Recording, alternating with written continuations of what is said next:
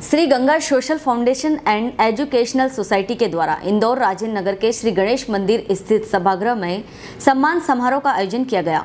इसके मुख्य अतिथि पूर्व मंत्री और राव विधायक जीतू पटवारी एवं विशेष अतिथि ललित शर्मा, इंपीरियल एकर्स थे। कार्यक्रम में कई विशिष्ट व्यक्तियों का सम्मान किया गया। कार्यक्रम की शुरुआत अतिथियों द्वारा माँ सरस्वती व गणपति जी की तस्वीर पर माल्यार्पण और दीप प्रज्वलित करके की गई। संस्था के द्वारा अतिथियों को शाल, श्रीफल और गर्व से कहो, हम भारतीय हैं की फ्रेम भेंट की गई। मुख्य अतिथियों ने संस्था के वॉलेंटियर्स, अन्य संस्थाओं के संचालक गण को स्मृति चिन्ह और सर्टिफिकेट दिए गए। कार्यक्रम में आए सभी मेहमानों को भारतीयता की शपथ एडवोकेट पवन नरवरिया भारतीय के द्वारा दिलाई गई। गौरतलब है कि संस्था पिछले सात सालों से महिला सशक्तिकरण, उनकी रोज़गार, शिक्षा, स्वास्थ्य, मेंस्ट्रल हाइजीन, अवेयरनेस पर काम कर रही है। बैटमा से राजेंद्र सूर्यवंशी की रिपोर्ट। हमारी डेली कॉलेज की जो टीचर है मेरे बेटे को पढ़ाती है वो अपनी सेवाएँ दे रही है। मैं आज पहली बार ही मिला।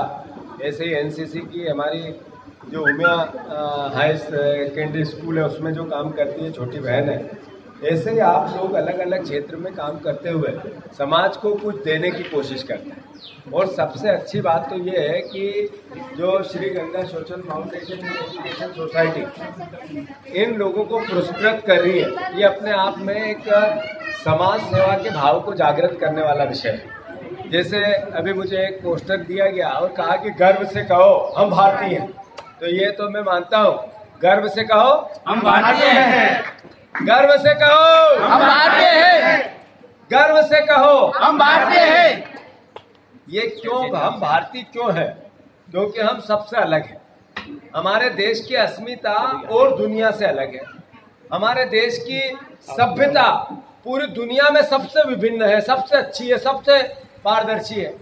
हमारे देश की, भारत माता की, जिसको हम गर्व से कहते हैं कि हम भारतीय हैं, इसकी सनातन पर, सनातन सनातन परंपरा लाखों साल पुरानी है। यह भगवान राम ने हमें पाठ पढ़ाया, प्रेम का, प्यार का, मोहब्बत का, त्याग का, बलिदान का, एक अच्छा राजा कैसा होता है? एक अच्छा बेटा कैसा होता है? एक अच्छा पति कैसा होता है?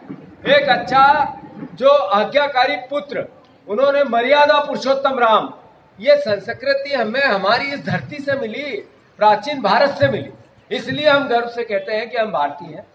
ये भारत देश जिसमें सर्वधर्म संभाव का भाव है, मानवता सर्वोपरि है। एक राजा हमारे यहाँ हुआ, जिसने एक ऐसा राज जो जिसके कोई सीमा नहीं थी, उसको एक मिनट में त्याग दिया और अपने आप को मानवता के प्रति समर्पित कर दिया। और देश और दुनिया को ज्ञान दिया सत्य का, अहिंसा का, परोपकार का।